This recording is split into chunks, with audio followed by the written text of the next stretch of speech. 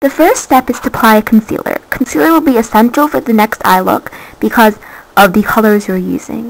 Pick a concealer two shades lighter than your skin tone to brighten up any under eye circles and blemishes. Apply it originally with a concealer brush and blend in with your fingers.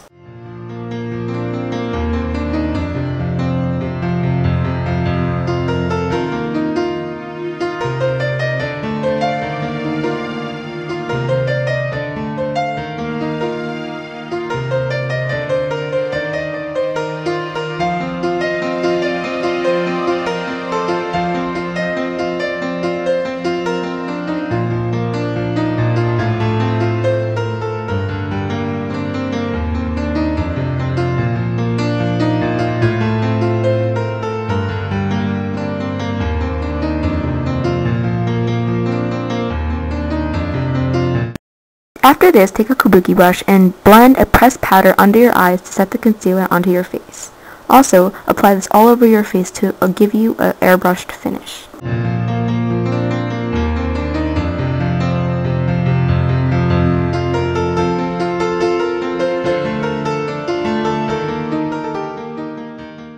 From these steps, you can achieve a bright, fresh-faced look.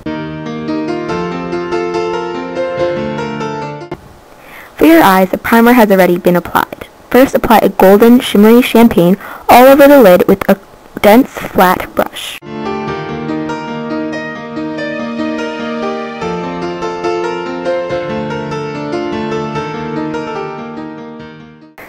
Next, take a fluffy crease brush and sweep a medium sheened purple into your crease.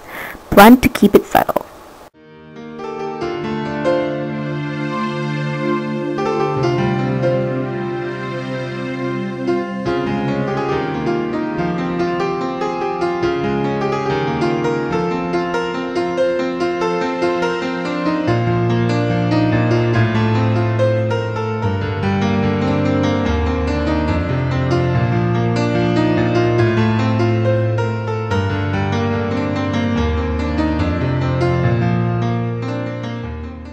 Apply brown liquid liner.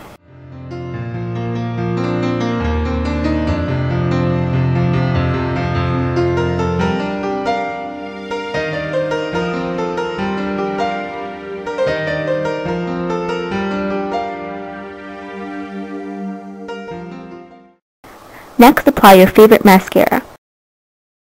Lastly, apply a shimmery pink blush onto your lids with a kabuki brush. I use a kabuki brush because this blush is very pigmented and a kabuki makes it softer on your face.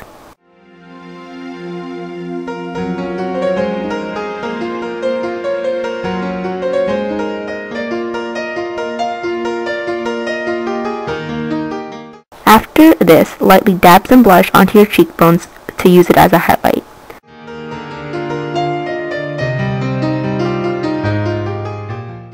Sleep on your favorite gloss, and you're good to go.